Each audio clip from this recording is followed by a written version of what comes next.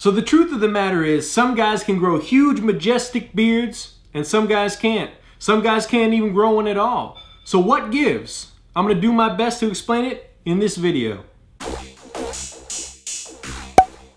How's it going guys? Randy here from Beard Booze where we discuss tips, tricks, how-tos, and various beard topics just like this one to help you reach your beard goals.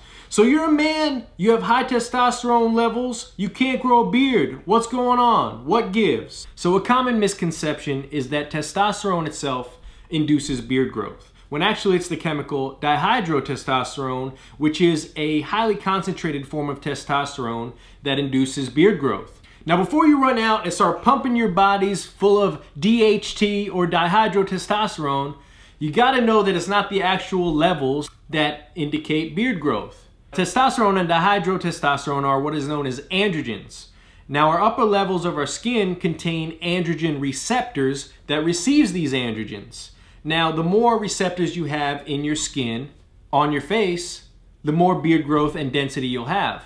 Now, the opposite happens for the top of your head. Now, if you've noticed, a lot of bald men have very thick, badass beards. Not only that, it's a pretty badass look. The number of androgen receptors on your skin is based on your genetics. Some men have a lot of androgen receptors, some don't. Now, of course, there are some exceptions to the rule. There are some bald men that can't grow a beard. There's some men with full heads of hair that have majestic beards. So the density of your beard and the thickness of your beard is based on the number of androgen receptors that you have.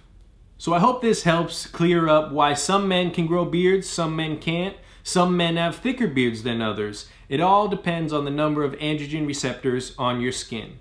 My question of the day to you is, if you have a full head of hair and can't grow a beard, would you give up your full head of hair to grow a majestic beard? And vice versa, if you have a majestic beard and you're balding, would you give up your beard to have a full head of hair?